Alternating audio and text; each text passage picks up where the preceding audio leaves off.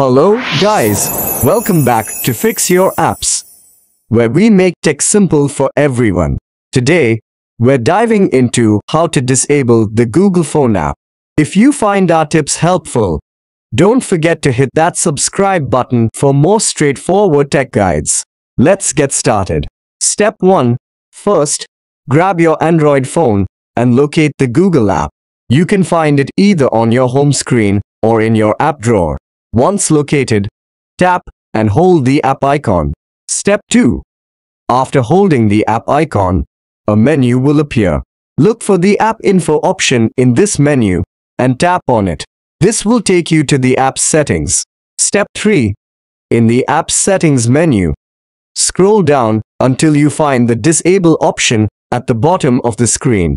Step 4. To disable the app, tap on the disable option at the bottom of the screen.